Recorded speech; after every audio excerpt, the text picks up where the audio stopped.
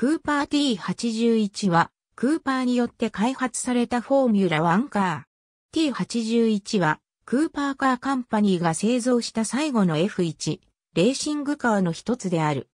1966年シーズンに先立って、同年施行された新しい3リッターエンジンのレギュレーション内で設計された。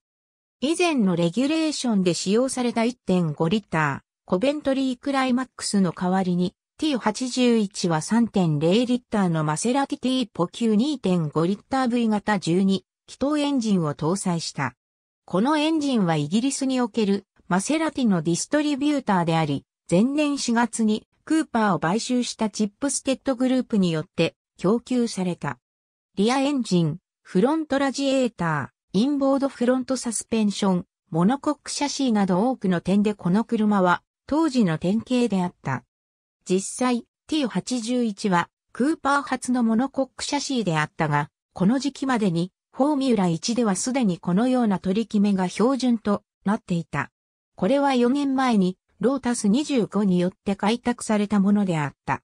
T81 は1966年、白草グランプリでレースデビューを果たした。1966年序盤の競争力を持つ3.0リッター F F1 マシンが不足している間に T81 は人気を博したが、クーパーはその能力を過度に拡張し、結果としてマシンの供給に苦しむこととなった。しかし、フェラーリに移籍したギンサーに代わって加入したジョン・サーティースがシーズン最終戦のメキシコで T81 初の優勝を達成した。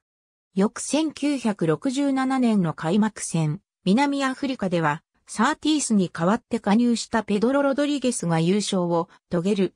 改良型の T81 バイトは1967年、モナコグランプリでリントが初めてドライブした。T81 の最後のレースは、1968年開幕戦の南アフリカグランプリでプライベーターのシフェールとボニエがドライブした。ワークスチームはすでに新型の T86 に移行していた。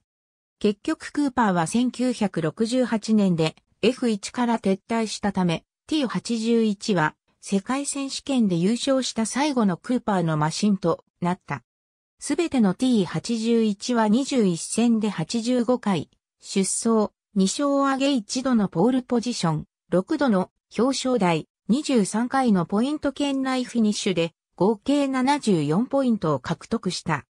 ありがとうございます。